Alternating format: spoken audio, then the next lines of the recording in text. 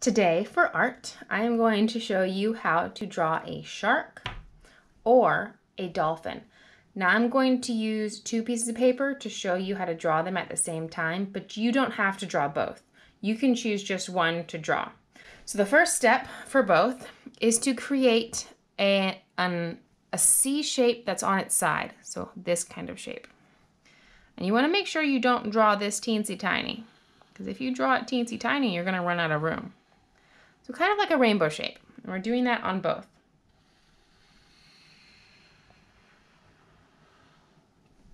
Now we're going to create another rainbow shape, except it's going to be really skinny on this side and really wide on this side. So I'm going to start wide over here so we have enough room for our dolphin's head and then really skinny over here because their tails get really skinny before they get to the big fin of the tail. Same thing on this side with a bunch of room for the head and a little bit of room for the tail. Now I'm going to do the dorsal fin. That's the fin on the back. And dolphins have a little bit of a rounder fin. And sharks are a little bit more pointy just like that. Now, for a dolphin's face, we're going to, I'm going to curve this out and around and stop about halfway. Curve and stop, about halfway there. Now, dolphins have a, almost like a snout on their nose, kind of like how animals have their nose sticks out from the rest of their head. They call it a bottle nose because it looks kind of like a bottle. And so what I did just then was a big, long, skinny U shape. And then it connected up to there. Now, from here, I'm going to do a curve for the smile. And it's kind of a long, skinny smile. And it curves up way back there and the eye is pretty close to the mouth. Right there. Now for our dolphin's tail, we're going to curve down, over, and down. Down, over, and down. Now from the middle, right here, I'm going to go to do a curve and a curve. Then I'm going to do a U shape on each end to connect them.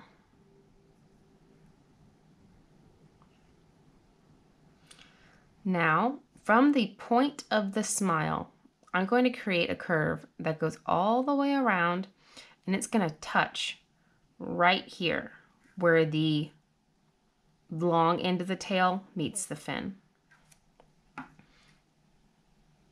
If I ever go too fast, you can always pause the video, rewind to where you need it, and then press play when you're ready.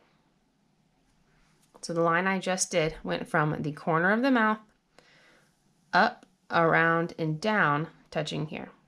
Now I've kind of neglected my shark. I've been doing the dolphin this whole time, so I'm going to switch over to doing the shark to finish this guy up. Neither of them are finished because I still have some more fins to do on the dolphin. So for the shark, I'm going to bring this line down and curving just a little bit.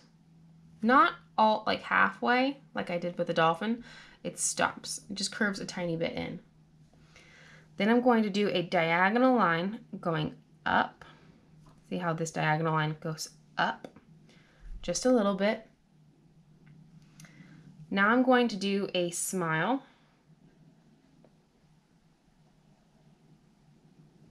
And this side is shorter than this one.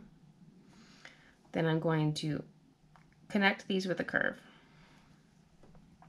And if you want to put pointy teeth in your shark's mouth, you just do a zigzag line. Just like that.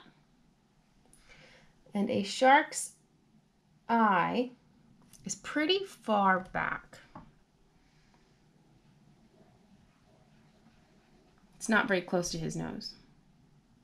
If you want to, you can even add a little dot for his nostril, for how he smells things in the water. Now we're going to do this kind of line on our shark, but it's going to touch in a different place. Or no, in the same place. Same place. So on his nose, between his mouth and the little dot we did for his nostril, we're going to go in between the mouth and the eye, up and around, and end up at the same place. Now the fin is going to be pretty similar. We're just going to have it be a little bit more pointy so it looks a little bit more aggressive because sharks are like aggressive. So I'm going to go down and out, down and out. Then I'm going to start in the middle, down and swoop, down and swoop again. So these fins are similar, but not the same.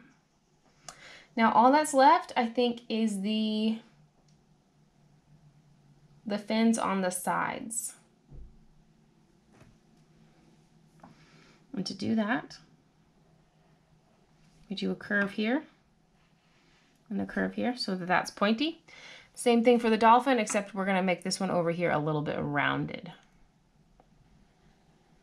So I do two like that, and then I put the tip as a little bit of a U.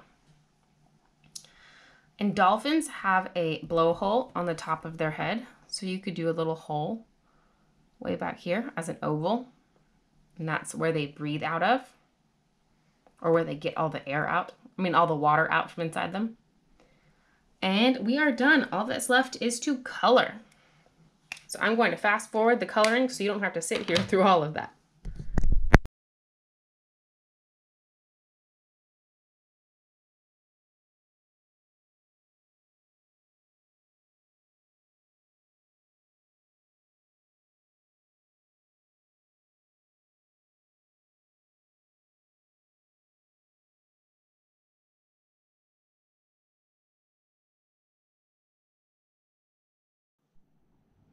Make sure that as you're coloring these, you are being intentional. You are coloring like a three-star colorer.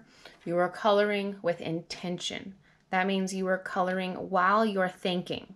You're not just scribbling all over the place, but you are thinking about what you're coloring, thinking about staying inside the lines, thinking about coloring in all of the little white spots, all the little spots that peekaboo through, and color intentionally color while you're thinking. I am so excited to see which one you chose, whether you decided to do a dolphin or a shark, or maybe even both, and to see how they turned out and how you colored them in and what even what colors you chose. So take a picture of these, making sure that you are following the photo tips like we learned from Monday, and do your very best. And I can't wait to see them. Have a good rest of your day.